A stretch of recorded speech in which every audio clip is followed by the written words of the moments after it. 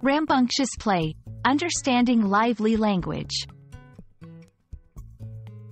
Hello, everyone. Welcome back to our channel. Today, we have an exciting topic. Rambunctious play. This phrase might sound a bit complex, but don't worry, we'll explore it together. Understanding such phrases can really add flavor to your English conversations. So, let's dive in. Let's start with the word rambunctious. It's an adjective that describes something or someone as being uncontrollably exuberant or boisterous.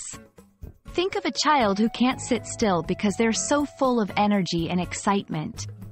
The origin of rambunctious is a bit of a mystery, but it's believed to have American roots, coming into popular use in the 19th century.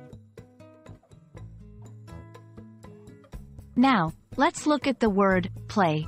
In this context, play refers to activities that are fun, engaging, and often physical.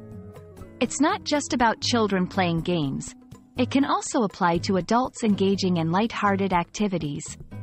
When we combine play with rambunctious, we get a very lively picture.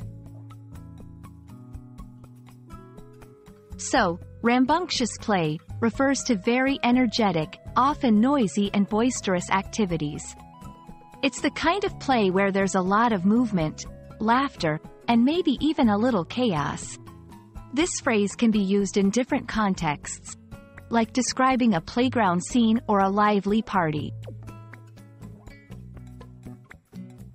Let's see some examples. 1. The children engaged in rambunctious play at the birthday party, running around and laughing loudly.